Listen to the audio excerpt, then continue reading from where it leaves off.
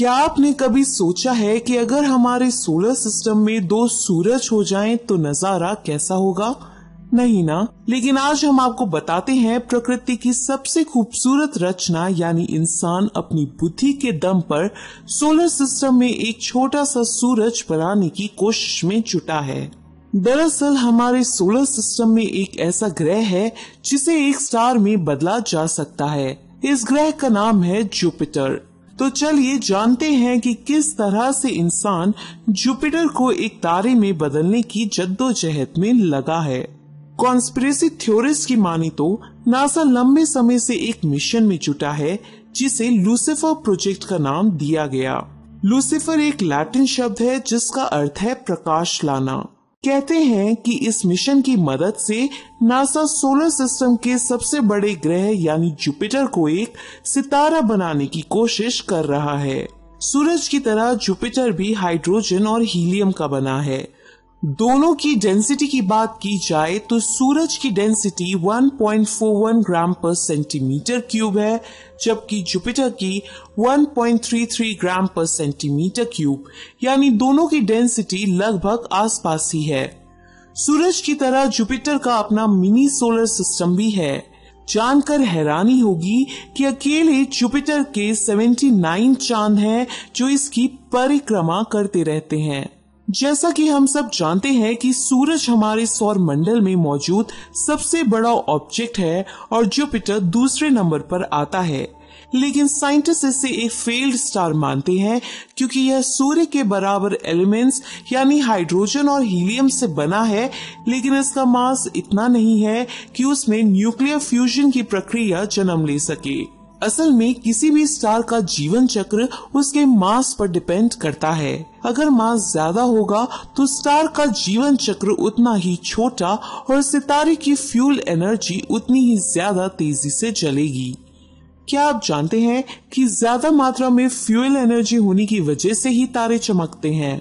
Nuclear fusion तारे के core वाले हिस्से में होता है, जहाँ हाइड्रोजन और हीलियम में फ्यूजन प्रोसेस होता है, जिससे सूर्य एक विशाल परमाणु रिएक्टर की तरह काम करता है बात अगर जुपिटर की करें तो वह सूरज की तुलना में एक हज़ार गुना हल्का है इसलिए हमारे सोलर सिस्टम में दूसरा सूरज बनना तब तक संभव नहीं है, जब तक ऐसे कई हज़ार जुपिटर मिलकर सूरज के साइज़ के ना हो जाएँ। लेकिन नासा इम्पॉसिबल को पॉसिबल बनाने की कोशिश में लगातार काम कर रहा है।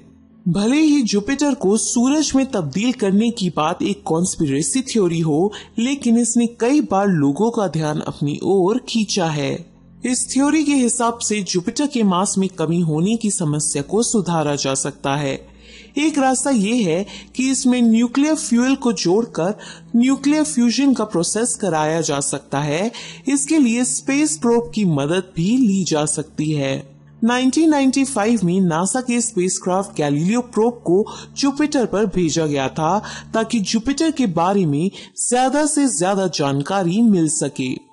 इसके लिए गैलीलियो प्रोब अपनी हीट शील्ड में मौजूद कुछ वैज्ञानिक उपकरणों की मदद से ग्रह की गर्म सतह यानी हॉटस्पॉट पर उतर गया, जहाँ से उसने कई जानकारियाँ भेजी।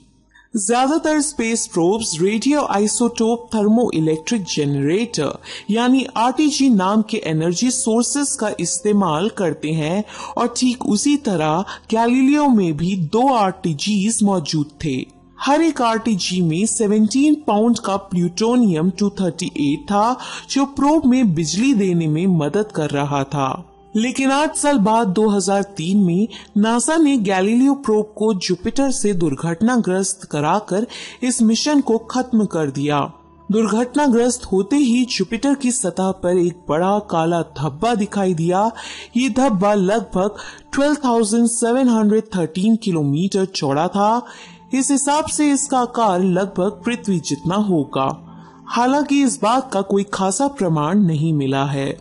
इसके पीछे नासा का कहना था कि वो जुपिटर के मून्स को धरती के बैक्टीरिया से दूषित होने से रोकना चाहता था, इसलिए उसने ऐसा किया। जबकि कई कॉन्स्पिरेसी थ्योरिस्ट इसे सिर्फ़ एक झूठ मानते हैं। असल में नासा जुपिटर के अंदर एक एक्सप्लोजन करना चाहता था, जिससे चेन रिएक्शन पैदा हो और जुपिटर एक छोटे तारे में बदल जाए। जैको वैंडर वॉर्प नाम के एक इंजीनियर ने दावा किया है कि हैवी हाइड्रोजन की मौजूदगी में फिजन रिएक्शन काफ़ी बड़े थर्मोन्यूक्लियर फ्यूजन को भड़का सकता है, जिससे जुपिटर एक सूरज की तरह चलने लगेगा। इस तरह प्लूटोनियम छर्रों पर दबाव बढ़ने की संभावना होगी। हालाँकि ये दबाव जुपिटर के एटमॉस्फेरिक प्रेशर्स की वजह से नहीं बल्कि 107,000 प्लस मील प्रति घंटे की तेज़ी से यात्रा कर रहे प्रोब की वजह से बढ़ेगा। अगर स्पेसक्राफ्ट 107,000 प्लस मील प्रति घंटे की रफ्तार से यात्रा करता है और छर्रों से पहले 20 सेकेंड भी जुपिटर के वातावरण में फटने से पहले टिक जाता है तो वह लगभग 500 से 600 मील की दूरी तय करने में कामयाब हो सकता है। ऐसे में इसके गैसीय हिस्से में प्रवेश कर प्रोब पर दबाव हज़ारों बार्स में होगा जिससे उस समय पैदा हुआ तापमान भी ज़बरदस्त होगा।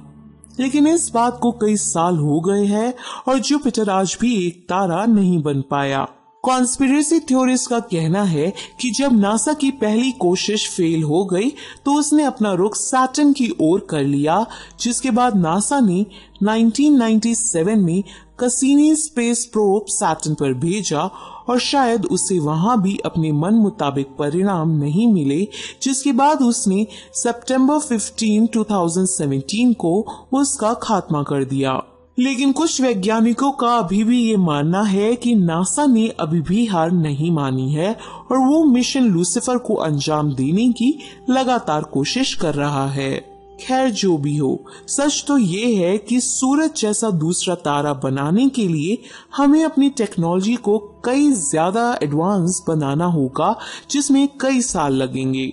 लेकिन सोचने वाली बात यह है कि ऐसा करने पर कहीं हमारा सोलर सिस्टम गड़बड़ा तो नहीं जाएगा। आपको क्या लगता है कि लूसिफर जैसे प्रोजेक्ट पर विश्वास किया जा सकता है?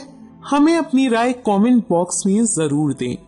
अगर आपको आज का हमारा ये वीडियो अच्छा लगा हो तो इसे लाइक और शेयर ज़रूर करें। साथ ही हमारे चैनल को सब्सक्राइब करें।